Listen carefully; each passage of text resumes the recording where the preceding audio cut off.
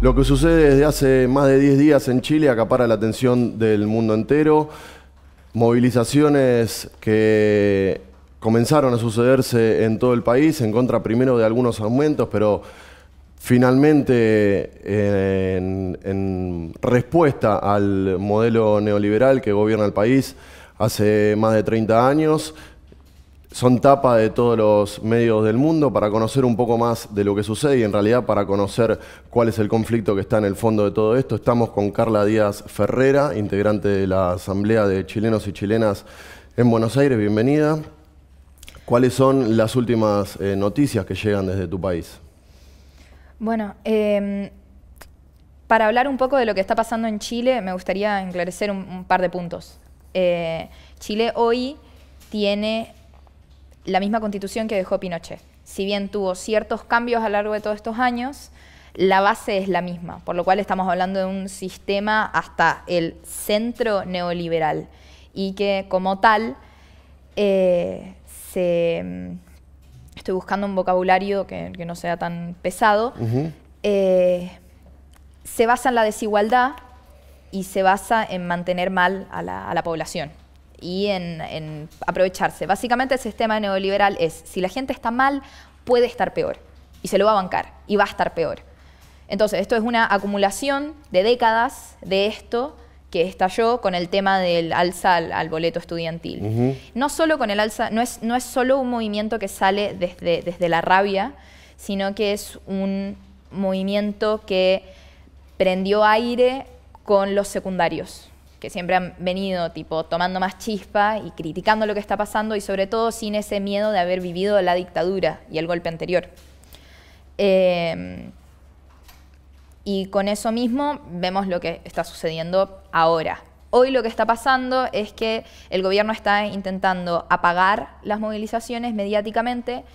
El día de ayer se reunió Sebastián Piñera con eh, las directivas de los distintos canales de televisión eh, y hubo inmediatamente un cambio de la línea editorial. Estamos hablando de todas las, las, directivas de todos los canales nacionales uh -huh. juntándose en lo que sería nuestra Casa Rosada para decir, perfecto, ¿qué estamos haciendo ahora?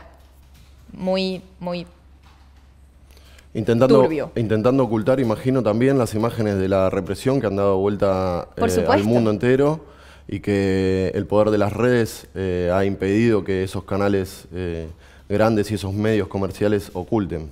Exacto, no solo eso. Uh, en Chile lo que ha pasado estos últimos días es que se ha mostrado más o menos la, real cara de, un Estado muy psicópata eh, que ha aplicado casi todo su arsenal de, violencia en forma de represión, en forma de... O sea, el presidente impuso un extraño estado de emergencia que bordea lo legal muchísimo, es muy debatible la situación en la que puso al país, eh, que en realidad se manejó como un estado de sitio, porque no solo había eh, limitancia en el tema del transporte y las reuniones en público, hubo persecución en la casa de las personas, hubo encarcelamientos, eh, tipo, hay casos de personas que no podemos dar nombre de nadie, hay casos de personas que trabajan en educación popular que fueron amenazadas en sus propias casas por la policía diciéndoles de que les iban a ir a detener a todos. Hablo de la familia, hablo así. Entonces, el, el nivel de persecución, incluso con los medios independientes, más con los medios independientes. Eh, eso es lo que estuvo pasando. Entonces, uh -huh. eh, lo otro que, que, sucedió, que estuvo muy interesante y muy lindo, es que la gente descubrió que tenía cámaras en todas partes y que podían grabar ellos lo que estaba pasando y claro. fundir en directo lo que estaba sucediendo. Eh, entonces no, no tardó en darse a conocer, que de, fue muy importante. De esa manera se pudo romper el cerco mediático y de esa manera conocimos lo que, lo que estaba sucediendo en las calles, eh, más allá de las grandes movilizaciones. Eh, hay denuncias eh, de, de, torturas, hasta de la existencia de un centro clandestino oculto de las fuerzas de la represión. Un par, eran los rumores, uno más dicho que otro. Uh -huh. Efectivamente, el centro de detención que se está investigando está en Estación Baquedano, en Plaza Italia de Santiago, que sería el inicio del centro, como el punto cero de Santiago. Eh, esa estación de subte sí tiene una comisaría adentro. Entonces ahí es donde salen las declaraciones. ¿Hacia dónde te parece que, puede ir la, protesta y el conflicto? En las últimas horas hubo otra marcha muy grande, se espera una movilización a la moneda. ¿Hacia dónde se encamina esto? Lo que pasa es que hay que, por eso remarco tanto lo que ha pasado en las últimas décadas, porque la gente descubrió que la miseria que tenían en su vida, que teníamos todos, eh, no eran problemas individuales. Es parte de un plan. No, exacto, no era depresión, era neoliberalismo. Entonces, eh, y todo el sistema. Eh, mi madre trabajaba en consultorio y notaba que habían pacientes con brotes psicóticos por los malos remedios que se daban en el mismo consultorio. Hmm. Entonces, eh, y esto hace más de 10 años. Entonces, la gente no va a volver a como se estaba, porque como se estaba era absolutamente indigno y era muerte. Estamos hablando de adultos mayores con una pensión tan miserable que se suicidaban para no ser carga familiar. Eh, hoy en día, con el nivel de represión que sigue habiendo, pues, se intenta callar y se dice, en las últimas horas se, bajó el estado de emergencia, entonces los militares salieron de las calles, pero no está habiendo justicia para los crímenes que ya se cometieron en estos días. Eh, no se, se está intentando culpar puntualmente a tal o tal militar. Sí, vamos a buscar quién cometió eso. Y es como, no, acá hay una institución entera que hay que juzgar y que tiene que pasar por la justicia. Entera. Y los que siguen en las calles en realidad son fuerzas especiales. Y fuerzas especiales tienen un amplio y largo historial de represión absolutamente innecesaria, de eh, comandos drogadísimos en cocaína y de un nivel absurdo de, violencia. O sea, las personas que estamos acá en general eh, tuvimos malas experiencias con la represión en Chile en diversas eh, situaciones y hemos descubierto a veces acá conversando de que eran situaciones muy extrañas, muy locas, muy tipo eh, de tener 15, 16 años, estar corriendo por la mitad de Santiago mientras te persigue un carro blindado lanza gases, un carro blindado lanza agua, policía en moto con luma, helicóptero tirando lagrimógenas hmm. y todo contra secundarios. Y esas son situaciones que nosotros vivimos que no es el nivel de violencia que está ocurriendo hoy día. Entonces, eh, esa represión continúa hoy, aunque no estén los militares. Porque además esta gente está acostumbrada a reprimir a la gente. Y no les importa, no les importa si es anciano, no le importa si es niño, no le importa si tiene 12, no le importa si tiene 78. Entonces, eh, y no importa género tampoco. Y los que caen primero son disidencias y feminidades, pues están más expuestos. Estamos hablando de un pibe que fue torturado a golpes hasta que tuviese que gritar tipo soy maricón. No porque tuviese, sino porque así es lo que le obligaban. Grita, weón, grita, así. Entonces, eh, es difícil proyectar qué va a pasar en el próximo par de días, porque la gente está yendo por todo. Es acá me cambiás la constitución y se va Piñera, mm. o no paramos. Hace varios años que vivís en Argentina, eh, estás eh, organizado dentro de, este colectivo. Eh, ¿Qué sentís o qué sienten cuando por ejemplo, el gobierno saliente, sucede con otros líderes en otros, en otros países del mundo también, pero el gobierno saliente aquí en Argentina tomaba el modelo chileno como el gran ejemplo a seguir. Veníamos eh, avisándolo hace mucho tiempo.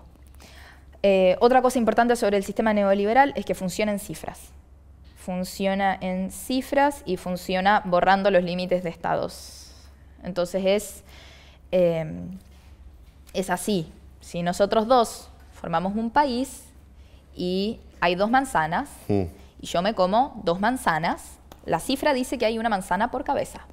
Y así funciona Chile. Entonces Chile hoy es, es uno de los países con mayor desigualdad social en el mundo. Santiago hace cuatro o cinco años salió tipo la ciudad con mayor desigualdad social en el mundo. Imagínate cuántas ciudades del horror le estamos, estamos ganando, ¿me entiendes? Tenemos el nivel de gana Estamos con mayor desigualdad que Estados Unidos en este momento. La pobreza en Chile aumentó. Lo que hicieron en realidad fue correr la escala de pobreza. Y básicamente tienes que ser indigente para ser pobre. Mm. Y básicamente tienes que vivir en la calle para tener un subsidio universitario. Porque no hay educación gratuita. ¿Qué se espera para las próximas horas? Vos decías, no se sabe eh, dónde puede terminar, la gente va a ir por todo. El presidente primero habló de, una guerra, después pidió perdón, primero el estado del sitio, después ya no. Cambio de ministros, que no fue tan cambio. Eh, ¿Hasta, hasta cuándo eh, puede seguir maniobrando este, este gobierno con semejante nivel de conflictividad? Lo que está peleando mucho hoy día es el tema del TTP-11. El TTP-11 es algo que eh, no se sabe mucho, que es en realidad eh, ni fuera de Chile y es difícil explicarlo dentro de Chile. Es un eh, proyecto internacional mercantil de asociación de distintos países que tienen el Pacífico como unión que es básicamente borrar, bajar, bajar todos los poderes del Estado y pasar todo tipo de decisiones nacionales a un conjunto mercantil que es básicamente transnacionales. Ese es un proyecto que se viene tramitando desde hace bastante. Eh, Piñera lo viene moviendo desde hace muchísimo. Eh, de pasar eso, se, incluso la constitución que tenemos, que es tan horrible, pasaría a segundo o tercer plano y cualquier tipo de decisión sobre políticas internas quedaría a merced de este Consejo eh, entre países y transnacionales y cosas. No estamos hablando de un Mercosur, poner. no estamos hablando de eh, tipo gobiernos juntándose y debatiendo sobre educación. No, estamos hablando de que quede todo a merced de este mismo modelo que eh, venimos diciendo que no funciona, pero de aplicarse, hacer los cambios que necesita Chile para realmente ser un país habitable, mm, estaría, sería mucho más difícil. Eso es lo que tenemos de cuenta regresiva hoy en día.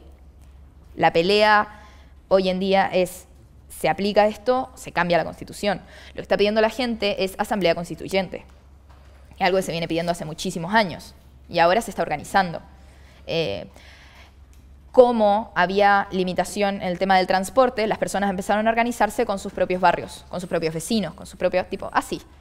Y hay algo muy especial que está ocurriendo en Chile, es que la gente, a pesar de toda la represión, tiene mucha fe en lo que está pasando. Es un movimiento que se comenzó por secundarios que iban a manifestarse para que las familias pudieran pasar gratis, porque el ataque al boleto no les afectaba a ellos directamente per se, pero sabían que su vieja sí. Entonces no se llegaba a fin de mes. Entonces fueron a tomarse las estaciones de subte para que todas las personas pudieran pasar. Y por eso la gente aplaudía y decía, bien, cabros, vamos, esta es la que hay que hacer. Entonces, em, la gente tiene bastante esperanza en lo que está sucediendo y está viendo que hay posibilidades. Lo que está sucediendo hoy día en Chile es que se está haciendo una acusación constitucional en contra de Piñera para sacarlo del mando. Eh, lo otro que él intentó hacer fue un cambio de gabinete y sacar a Chadwick, que era su ministro del Interior, de, ahí, que es más o menos salvar a Chadwick, porque es un ser del horror. Eh, pero todavía no presenta respuestas concretas a lo que la gente está pidiendo. Mm. Por último, el colectivo que integrás acá en Buenos Aires, imagino estará en alerta y con distintas actividades. Sí, la tenemos, estamos teniendo calendario, agenda diaria de intervenciones, espacios. Hay algunas que son más grandes para, tipo, que se sepa lo que está pasando, como, de hecho, hoy. Eh, hoy hay una manifestación de Congreso al Consulado de Chile a las 6 de la tarde.